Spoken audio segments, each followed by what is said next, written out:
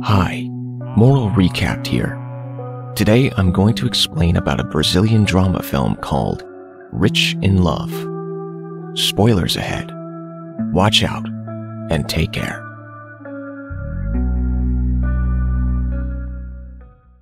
The movie starts off with a man showing some people around a tomato production facility.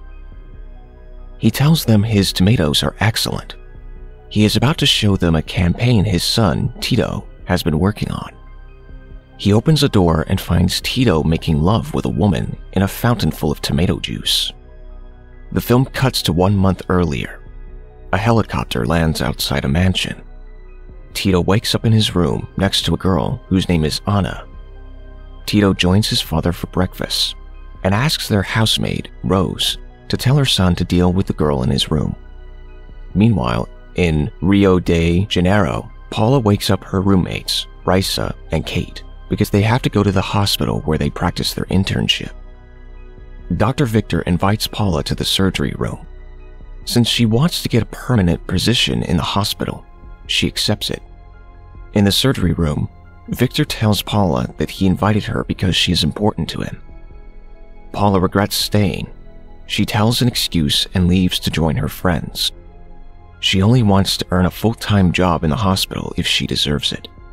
Tito meets with Igor, Rose's son, and takes him along for some fun. Tito says they are going to pick a gift for his birthday.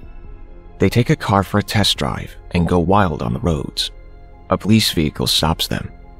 The policewoman pretends to be hard on Tito, but then says she will let him go if he invites her to his birthday party. Tito meets with his dad at the factory he asks his dad to buy him the car as a birthday gift. His father has another idea. His gift will be a job at the family business.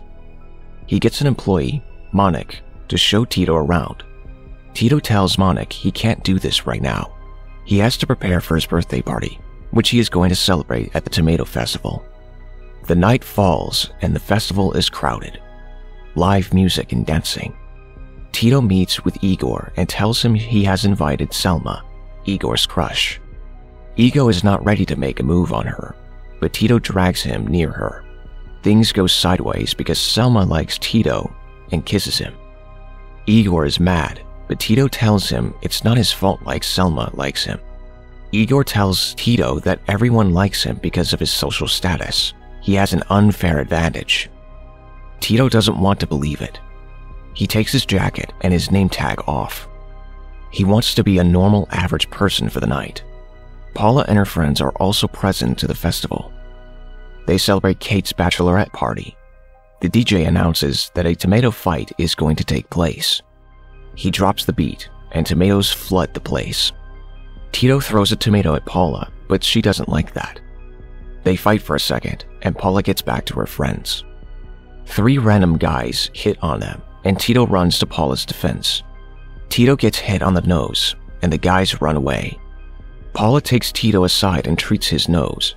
Risa and Kate give them a moment alone. Tito conceals his true identity. He tells Paula he stays in this place because his father is a worker here, a janitor.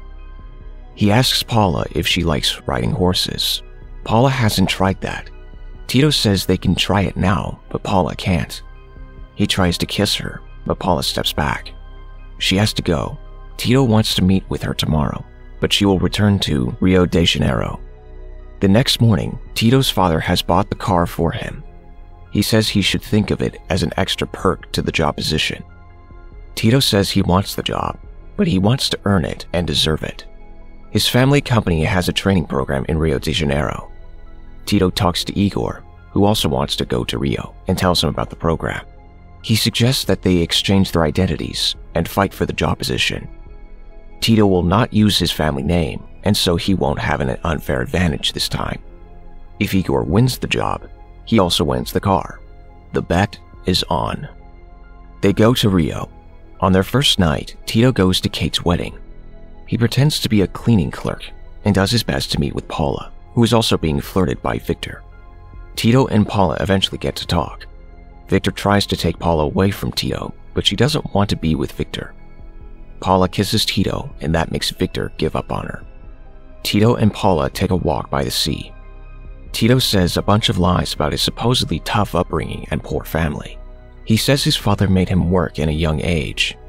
He tries to kiss Paula again, but she says she has to go. The next day, Tito and Igor visit the Trancoso headquarters, where the training program is going to take place. They now have switched their identities. They meet an angry Monik who has just been fired. Then they meet Cilio, the head of the marketing department, and Elena, who is in charge of the training program. The real Tito tries to make a good first impression on Elena, but he does not succeed. Elena makes him go and fetch her some coffee. Cilio tells Elena to take care of Tito, who is now played by Igor. Elena makes the fake Tito feel at home and treats him well. The real Tito witnesses this behavior, and he is worried that he might fall behind and lose the position. So he calls Monik and asks her to meet. Tito drives his expensive car to Monik's poor neighborhood. They meet and go to Monik's house. She lives with her sick sister, who also has a baby.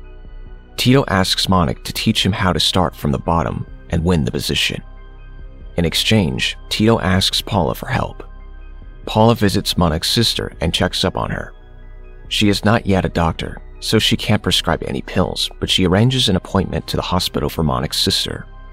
Tito also says that if Monik helps him and he wins the position, he will gift her his car. Tito and Paula walk out and they arrange to go on a date. Monik will help Tito and advises him to get an early start. He has to earn himself some connections. Tito listens to her advice, but it initially backfires to him. Monik doesn't give up and makes him continue the effort. Tito tells Cilio if he can get some work for home, and that impresses Cilio. Tito also asks Monik's help for his date with Paula. He has no idea where to take her. He has told her that he is poor. Monik plans Tito's date and teaches him how to dance. The date goes well. Paula and Tito talk about their parents. They eventually kiss, and Paula suggests they go back to Tito's house. That would be a problem since Tito stays in an expensive hotel. Tito texts Igor for help, and Igor comes up with a plan the receptionist will switch rooms with Tito. Tito and Paula come back to the hotel. Tito says he stays here because his uncle works in the hotel. The receptionist gives Tito the key to his room, so the receptionist gets to sleep in Tito's luxurious room while Tito takes Paula to the receptionist's tiny room. Paula says the room is not that bad, but Tio thinks it's awful, taking a moment to realize the bad conditions that workers live under. Tito and Paula carry the couch outside the room and to the roof so they can have a better view outside. They have a fun night together and wake up into each other's arms. Tito comments that he's experiencing an unfamiliar feeling. He wouldn't like to be anywhere else apart from here and now. On his way to the training program, Tito sees a fountain and has an idea. He pitches the idea to the instructors. It is about creating a fountain of tomato juice. Celia likes the idea but Elena prefers Igor's idea, which is creating a tomato mascot that will represent a happy tomato. Since they like both ideas, they will put Tito and Igor work together. The same night, Paula visits Trancoso and asks if she can wait for Tito in the lobby. Elena listens to her and says she can take her to Tito. Along the way, she tells her that Tito is not serious about relationships and just wants to have fun. Tito and Igor see the two women walking in and they hide. Elena comes to them, and Igor, the fake Tito, tells her he doesn't want to deal with Paula. Elena helps him get away through the escape exit. The real Tito meets Paula, who is now a bit moody. He tells her that Elena hates his guts and doesn't want him to win the position. That's why she talks trash about him. Paula believes him. Meanwhile, Elena tells Igor that he owes her one for saving him. She wants to be taken out for dinner. Igor says they can go back to his room and he will cook for her. Igor cooks some pasta. They eat and Elena flirts with him intimately. She kisses him and they get the action going and they get the action started. At the same time, Paula and Tito are having some fun as well. Monik calls Tito in the middle of the night and says her sister is having an issue with her health condition. Tito and Paula go to their house. Paula prepares to give Monik's sister an insulin shot. Monik will help her, and Tito has to keep the baby.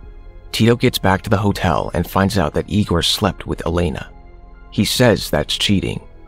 Elena meets with the receptionist at the breakfast table, and she thinks he is Tito's father. Eventually, the situation is resolved, and Tito's secret is still safe. Elena gives the fountain project to Igor, while Paula and the girls are arranging a graduation party. Tito's father comes to Rio, and he wants his son to be present in a dinner with the investors. He also says that he has fixed the job position. The position Monik used to have will be accompanied by Tito.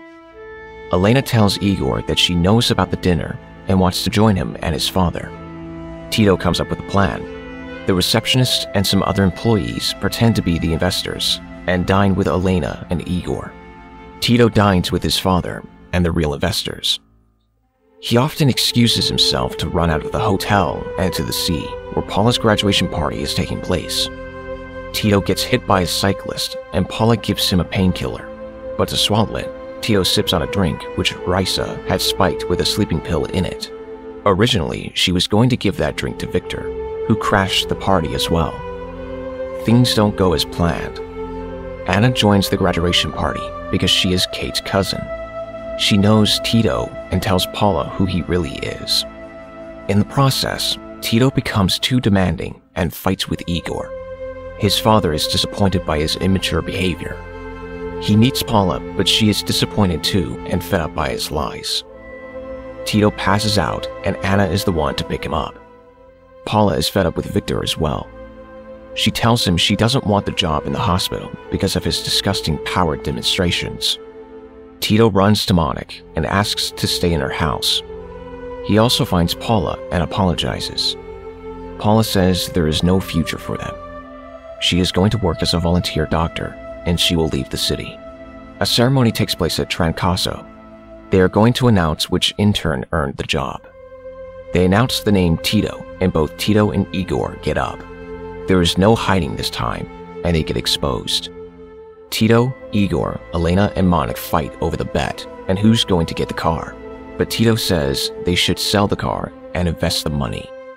One year later, Tito, Igor, and Monik are now partners in their own business, and they're celebrating their success. Paula knocks on their door, so now the party is full. The movie ends with Tito and Paula kissing on a rooftop, full of plated tomatoes. Subscribe to see more videos like this. Turn on the notifications and leave a like to help the channel grow. Thank you for watching.